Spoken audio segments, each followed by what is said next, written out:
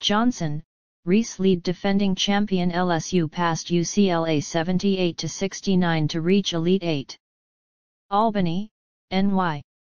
AP Angel Reese says LSU's players are embracing the role of good villains as they make a run toward repeating as national champions. Flau'jae Johnson had 24 points and 12 rebounds and Reese put up her 26th double-double of the season Saturday as LSU 31-5 beat UCLA 78-69 in the Sweet 16. Reese had 16 points and 11 rebounds before fouling out late in the game for the Tigers, who closed the game on a 14-2 run. Aneesah Morrow had 17 points and Mikaylah Williams added 12. And all the while the Tigers did their usual trash talking, screaming and waving goodbye to their opponent. We're the good villains, Reese said. We're impacting the game so much and all of us are super competitive and want to win and do whatever it takes to win. We're just changing the game. LSU advanced to the Elite Eight, where it will face Caitlin Clark and Iowa on Monday night in a rematch of last year's national championship game.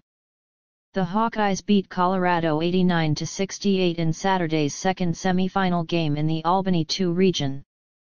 Lauren Betts had 14 points and 17 rebounds for UCLA, which finished the season at 27-7.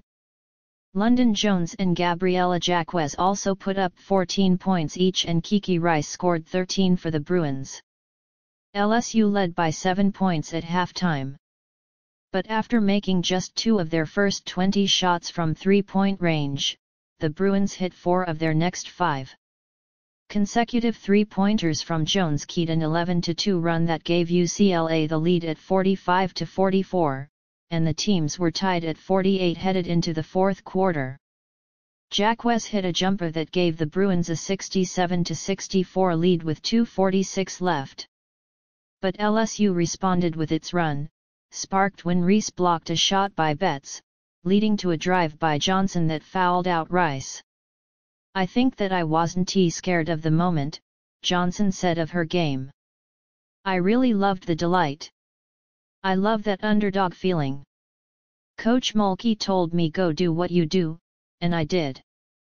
Johnson had two early three-pointers in the first half. Her spinning baseline drive and layup highlighted an 8-0. LSU spurt that put the Tigers up 25 to 18.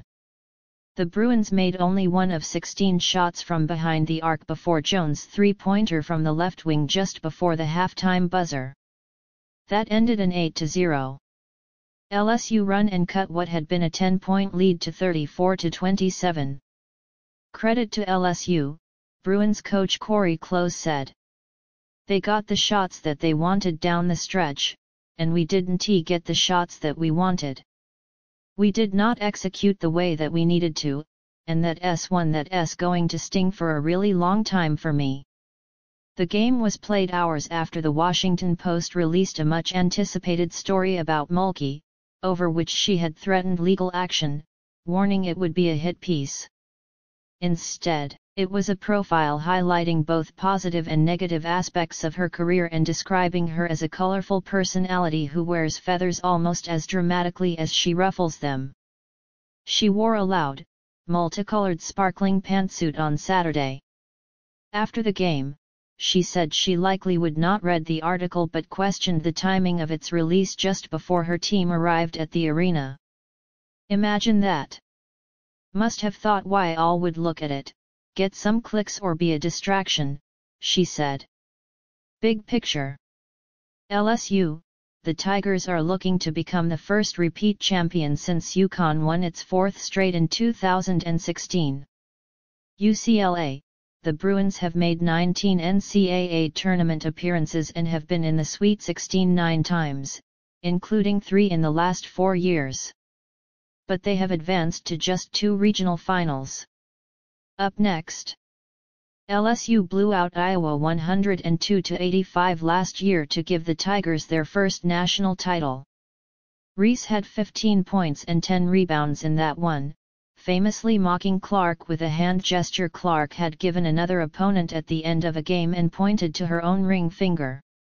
Clark finished with 30 points in that loss.